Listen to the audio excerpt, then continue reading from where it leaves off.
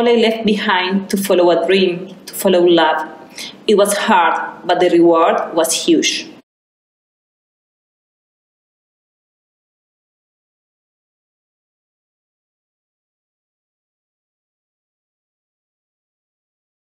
Actually, the story uh, started uh, in 2013 when I uh, met my now my husband. We have like relationship online relationship. We communicate via Skype, Vibers, and um, all of these other social media things. I still can't believe that everything began one night with insomnia when I started talking with an old friend through my through the computer at 3 a.m. for me and 2 p.m. for him. He was my insomnia friend, as we used to spend hours talking while I was unable to sleep. And one day, we started dreaming of us together, and now we are here. My husband decided uh, to stay live in Australia, and he actually asked me to come with him. and after that, uh, I thought, okay, why not?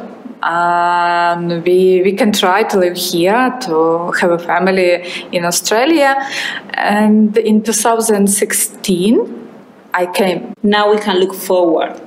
We got married we had our precious baby Juliet and we are building our family with new friends and everything starts to make sense I was so exhausted when I thought about, oh, living in Australia, I will have more uh, opportunity with my experience because for that moment I worked uh, like psychologist uh, 10 years. And uh, I thought, okay, it will be easy to find some job, but no, it was not too easy. First uh, problem, it was language. Then the cultural shock. You arrive to a country where people is so different from people in your country while in my country, we are kissing people, hugging people. We are noisy. Sometimes I still meet that noise.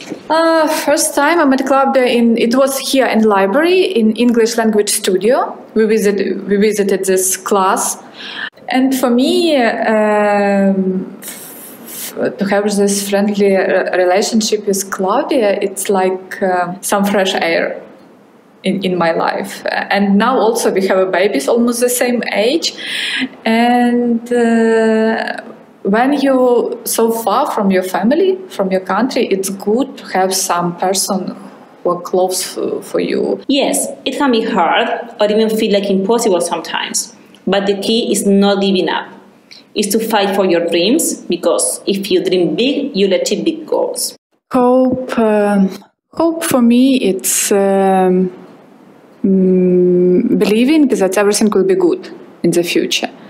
That's why must be I'm here, and it's a, actually no no must be. It's a main reason why I'm here for better future. Hope means uh, like uh, making things possible, like believing. Yeah, because you can have have hope, but if you don't believe that things are gonna happen, it's just useless. So you just need to believe.